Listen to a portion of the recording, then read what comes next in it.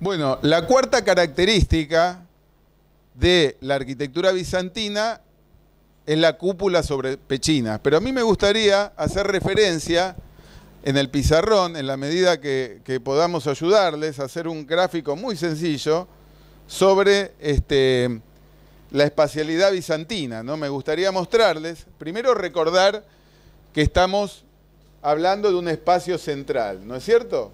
Pongámosle un espacio central que puede ser una cruz griega en la iglesia bizantina.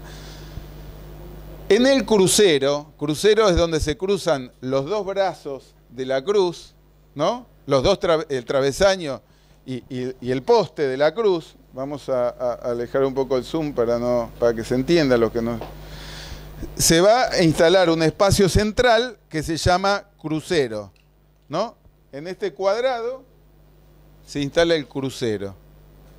Sobre ese crucero hay que montar una cúpula. Y ahí aparece la primera dificultad. ¿Cómo monto una cúpula? ¿Qué planta tiene la cúpula? ¿Qué base tiene la cúpula? Circular. Entonces, ¿cómo monto una cúpula que tiene una planta circular en una base que es cuadrada? Y ahí aparece una solución.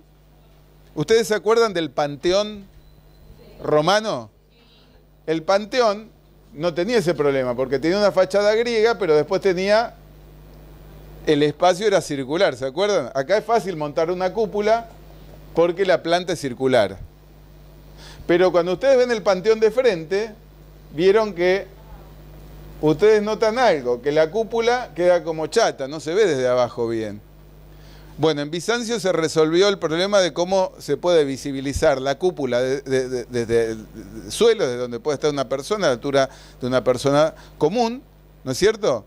y además se le dio solución cómo montar una estructura de planta circular sobre, un cuadrado. Entonces lo que, lo que en Bizancio se va a lograr, un sistema que se va a llamar cúpula sobre pechinas, que explicando sencillamente términos de ingeniería civil compleja, lo que podemos decir que cada cuarto de la... Vamos a dividir este círculo en cuatro partes. Cada cuarto ¿no? va a estar apoyado sobre un triángulo de lados curvos, cuyo lado superior, que va a ser curvo, va a transmitir el peso, ¿no? Un cuarto de cúpula se va a apoyar en el lado del triángulo curvo y va a transmitir todo el peso a uno de los ángulos del cuadrado. Con el otro cuarto de cúpula vamos a hacer lo mismo y todo el peso se va a trasladar al otro ángulo y así sucesivamente con los cuatro lados. Estos, cada uno de estos lados se van a llamar pechinas. Son triángulos que van a sobrelevar la cúpula y van a transmitir el peso a los ángulos del cuadrado. ¿Se entendió? Muy bien. Por ejemplo, vamos a ver el dibujito de cómo se ve una iglesia bizantina desde abajo.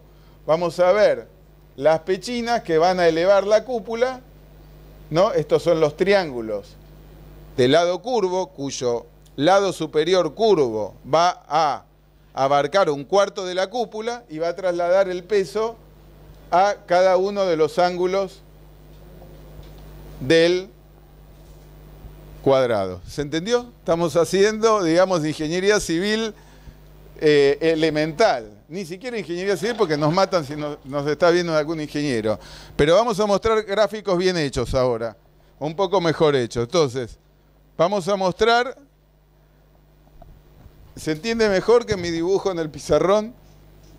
Entonces, cada, cada cuarto de la base circular de la cúpula se transmite el peso mediante las pechinas a los ángulos del cuadrado del crucero. Y así sobrelevamos la cúpula que se puede ver desde abajo, como en el caso de Santa Sofía, y además logramos solucionar el hecho de apoyar una cúpula circular sobre una base cuadrada en forma armónica. Aparte de esta mayor altura, ¿ustedes recuerdan cuál era la altura del panteón? Perdón, acá no estamos enfocando la... Vamos a enfocar... La altura del panteón era de 40 metros. Y el diámetro de la cúpula del panteón era de 40 metros. Era exactamente igual, no tenía pechinas, apoyaba directamente sobre el, tambor del edificio. ¿Se acuerdan, no? Acá no, tenemos pechinas, de manera tal que la altura va a ser ya mayor, va a ser 56 metros, la altura de la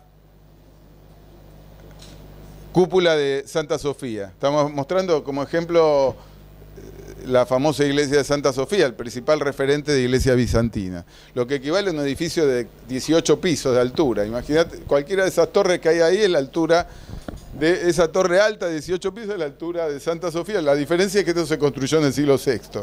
Fue una, un alarde de la ingeniería civil bizantina. Entonces eso es cúpula sobre pechina. En el siguiente apunte me gustaría, si, vemos alguna imagen más prolija, vamos a ver que acá tenemos ¿no? la sobreelevación que tiene la cúpula bizantina, caso de Santa Sofía, y me gustaría este, mostrarles en el próximo punto otras características, que es la espacialidad bizantina. Como para los bizantinos era muy importante el espacio interior.